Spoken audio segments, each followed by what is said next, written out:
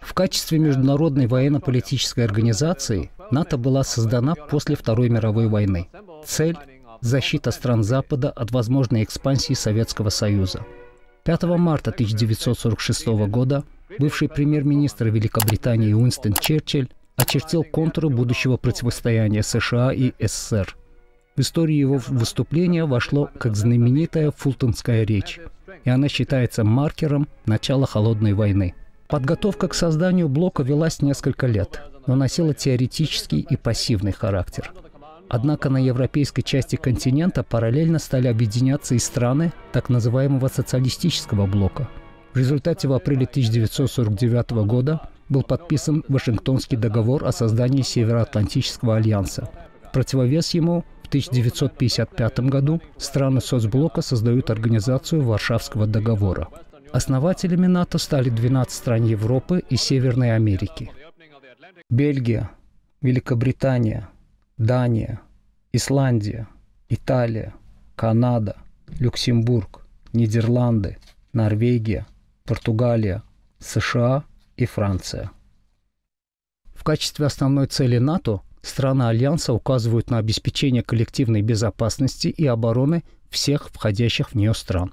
Новые члены вошли в организацию впервые в 1952 году, и ими стали Турция и Греция. В 1955 году в блок вступила ФРГ без территории бывшей ГДР, которые присоединились к НАТО 3 октября 1990 года после объединения Германии. Далее в Североатлантический альянс вошли также Испания в 1982 году, Чехия, Венгрия и Польша в 1999 году, Эстония, Латвия, Литва, Болгария, Румыния, Словакия, Словения в 2004 году – Албания и Хорватия в 2009 году, Черногория в 2017 году, Северная Македония в 2020 году, Финляндия в 2023 году и, наконец, Швеция в 2024 году.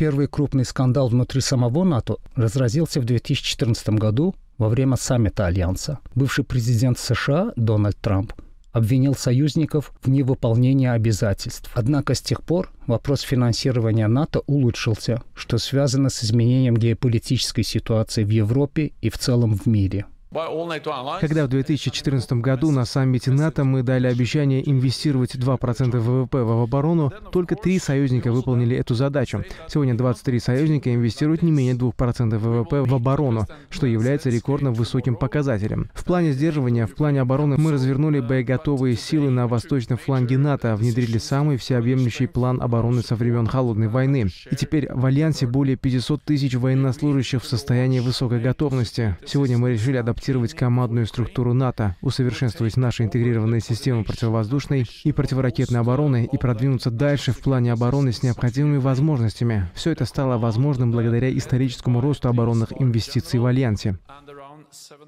Впервые силы НАТО приняли участие в военной операции только в 1990-е годы при создании беспилотной зоны над Боснией и Герцеговиной.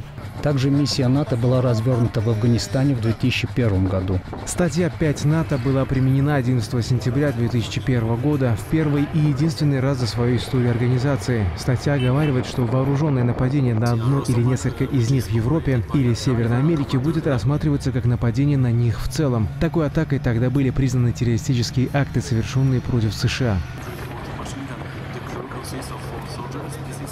Далее силы Альянса в 2008-2016 годах провели ряд операций против пиратов на восточном побережье Африки, а в 2011 году были применены в Ливии. Помимо военных аспектов, НАТО реализует также мирные инициативы. Альянс стремится к укреплению стабильности стран-участников и к сотрудничеству в международных отношениях. Сотрудничество НАТО с Азербайджаном имеет 30-летнюю историю и проходит в атмосфере взаимопонимания и поддержки – Взаимодействие осуществляется в рамках программы «Партнерство во имя мира» и включает вопросы безопасности, обороны, энергетической безопасности, защиты объектов критической инфраструктуры, образования и другие аспекты. К примеру, в июне 2024 года военно-воздушные силы Альянса провели в Баку курс с личным составом военно-воздушных сил Азербайджана. Курсы были организованы в рамках программы сотрудничества по индивидуальному партнерству с НАТО на 2024 год.